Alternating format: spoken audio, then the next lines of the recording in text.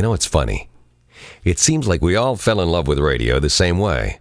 And once we fell, we'd do anything, absolutely anything, to get our foot in the door. I hung out at a radio station. I begged somebody to hire me. I'd do anything at the radio station. I'd dig ditches. You don't have to look at pictures on the radio. It doesn't ruin your vision like a TV show. Practice yoga on the ground. Or get up and walk around. You can do it when you're listening to the radio. As a boy, I fell in love with words, ran away from home and joined the radio. And it really was something.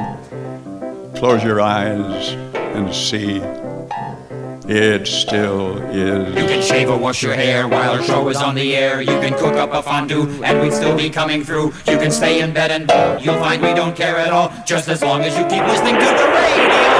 A fiery horse with the speed of light, a cloud of dust, and a hurry. Hi-Ho Silver, the Lone Ranger. Smoking reefer on the radio while we're really eating cookies and you never know. We could tell you we look great when we're really overweight. You can get away with so much on the radio.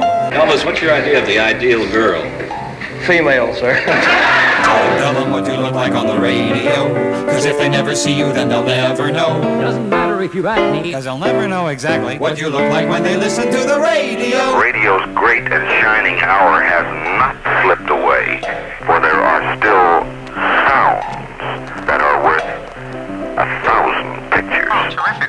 R-A-D-I-O. Television. R-A-D-I-O. wearing blenders. R-A-D-I-O. Or vacuum cleaners. R-A-D-I-O. You get the picture? R-A-D-I-O.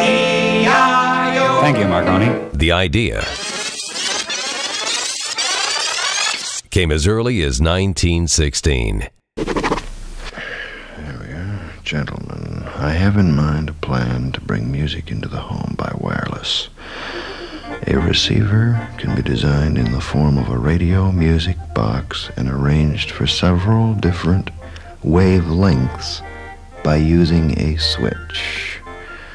Uh, A switch, or perhaps even a dial. Respectfully submitted, David Sarnoff.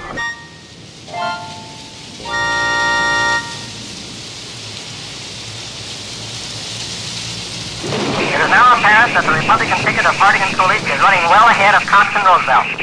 At the present time, Harding has collected more than 16 million votes against some 9 million for the Democrats. We'll give you the state vote in just a moment. But first, we'd like to ask you to let us know if this broadcast is reaching you. Please drop us a card, address station KDKA, Westinghouse, East Pittsburgh, Pennsylvania. Let me assert my firm belief that the only thing we have to fear is fear itself.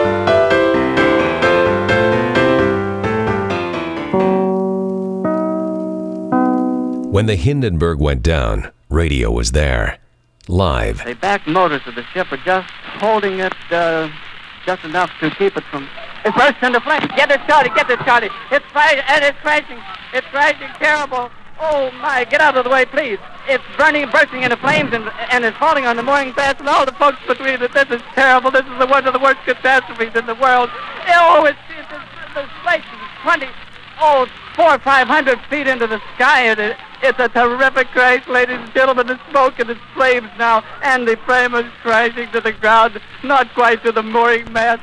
All the humanity and all the passengers screaming around it. And when the Martians came, radio played with our imaginations. We are bringing you an eyewitness account of what's happening on the Wilmuth Farm, Grover's Mill, New Jersey. Metal casing is definitely extraterrestrial. Wait a minute, something's happening. Humped shape is rising out of the pit. I can make out a small beam of light against a mirror. What's that? There's a jet of flame springing from the mirror and it leaps right at the advancing men. It strikes them head on. Lord, they're turning into flames. Now the whole field's caught up by the woods, the barns, the, the gas spreading everywhere. It's coming this way now, about 20 yards to my right. There are two art forms that um, disappeared in this last century, and those two were the silent film and what I call real radio, the radio of the 20s, 30s, and 40s. Radio historian Frank Buxton. Radio today is totally unlike what it was like when when I was a kid. Well, good night, kiddies. Eh, that'll hold the little bastard. News. From New York City, that body of land that was purchased from the Indians for $24, we bring you a man who could have gotten it for $22.50. And here he is, Jack Benny. And radio's all-time favorites, Amos and Andy. Howdy, folks, and welcome to Melody Ranch with Gene Autry. Henry! Henry Aldrich! Come in, Mother. Who knows what evil lurks in the hearts of men? The shadow knows. Johnson Wax Program with Fibber McGee and Molly. It's a bird. It's a plane. It's Superman. Good evening, ladies and gentlemen. This is Bill Stern bringing you the 381st edition of the Colgate Shave Cream Sports Newsreel. And they're off in the service of gold. They're head and head, and now War Admiral has a head advantage. This is a real horse race, just what we hoped we'd get. And both jockeys driving. Is the best horse from herein. They've got 200 yards to come. Is horse against horse. Both of them driving. Seabiscuit leads by a length. Now Seabiscuit by a length and a half. Woolf has put away his weapon. whip. Seabiscuit by three. Seabiscuit by three. Seabiscuit is the winner by four lengths. And you never saw such a wild crowd. Seabiscuit the winner. Lucky Strike presents your hit parade. Congratulations, Glenn. And on behalf of the Make Believe Ballroom and its listeners, here is a bronze plaque. And it's presented with our best wishes to you, Glenn Miller, America's number one dance band.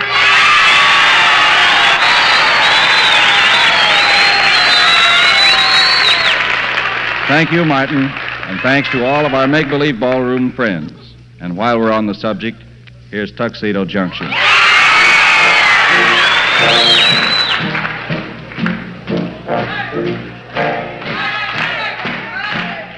This is Trafalgar Square. The noise that you hear at the moment is the sound of the air raid siren.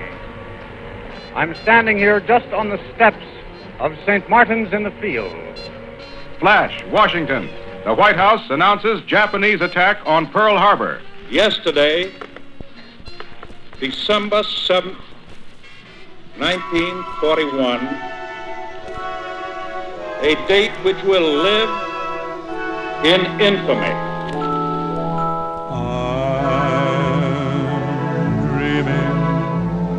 Of a white Christmas. The German war is at an end. 7 p.m. Eastern Wartime. Bob Trout reporting. The Japanese have accepted our terms fully. This, ladies and gentlemen, is the end of the Second World War. We may allow ourselves a brief period of rejoicing. Are you ready, Manhattan? Are you ready, New Jersey? Here's our birthday present for all of you. Let the fireworks begin. Ground control to Major Tom. Six. Commencing down engines. Four. Three. Two. Check ignition and make us be with you. I'm Chris Eric Stevens. Welcome to 30, R&R's 30th anniversary celebration of radio. Back to the story right after this.